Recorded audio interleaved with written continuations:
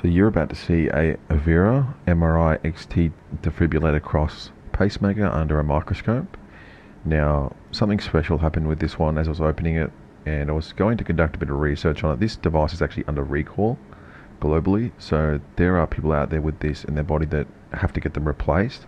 One of the main reasons they do have to get them replaced is the fact that the battery depletes too quickly and what happened in my case is obviously this would never be opened by a patient because it would never be outside the body. But as I was opening it, just like a can opener, you'll see these two leads halfway down the board on the far right. Those two little tiny leads. Now, I was a little bit naive and touched those leads together with a pair of pliers with rubber handles, and you'll see the damage that 700 volts of defibrillator capacitance actually does to a board. So we'll get to that now. Okay, so this is a Medtronic uh, SureScan MRI safe defibrillator. Um, that is the PCB. Sorry, that's the PCB, the whole board, and we've got a little uh, MCU there or little um, controller unit. That's a Medtronic proprietary um, die, and then we have these three dies next to each other, which are silicon, obviously, um, and one of them is torn to pieces and the reason is that the two blobs, which I'll show you shortly, connected when I was taking them apart.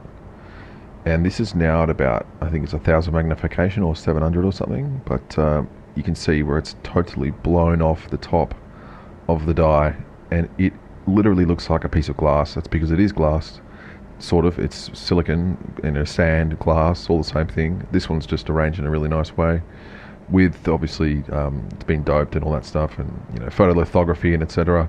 But you can see the damage that it's made. Um, it's actually exploded, and most of the well, it's exploded the top layer off, and it makes it really unique.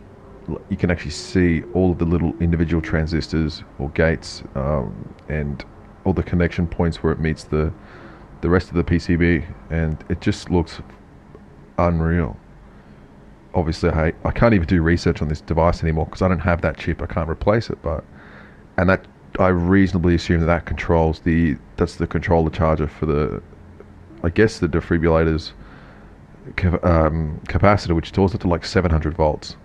So those two wires touched, um, and I'll show you in a minute where they are. But have a look at the definition of those individual transistors. It looks like a little city and that's from zoomed out a little bit. And those two blobs on the far right, they're the two leads, and you can see how close they are together. And now, don't be alarmed, but there's cotton plus flux on them. That's why they have these little yellow hair around them. You'll see the hair in a minute. I'll just zoom back in on these gates and stuff. But um, yeah, fascinating. And you can see it actually looks like it looks like a piece of glass that's been in the ocean. And when I move the microscope from different angles, you can see the refraction. It's actually quite mesmerizing uh, the original video was like half an hour. I was just sitting there going like, what am I looking at? Because to the naked eye, you can see the reflection reflections a tiny bit, but you can't see the definition that we're seeing right now. So this is like fascinating. And it actually looks, yeah, there's some da- real damage there. You can see like it's it's it's not the original color. Uh, it looks like it's corroded there or oxidized. And there's big chunks missing, obviously which have which are gone by the way. I don't know where they are, vaporized or splattered all over the place. But um, yeah, you can see that the definition's quite mesmerizing. Magnificent's probably a better word to say it. And this isn't even a. Uh, this is not like seven nanometer or anything like that. This is you know probably like 20, 100 nanometer, probably less.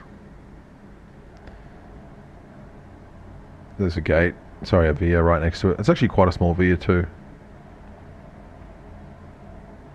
And there's not much definition there because it looks like that's where it connects. Uh, here's the pads.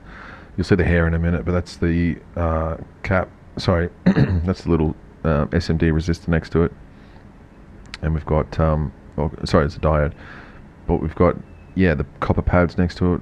They almost look gold plated because they're quite beautiful. And that's the hair that I was talking about. That's actually cotton fiber from where I've attempted to cotton bud the the actual uh, to get rid of the flux because flux is quite nasty when you look at it. It's like a brown goo. And that's the rest of the board under, I think it's 100, 100 magnification 50 times or something. But um, that is the Medtronic SureScan Evera MRI proof defibrillator plus pacemaker.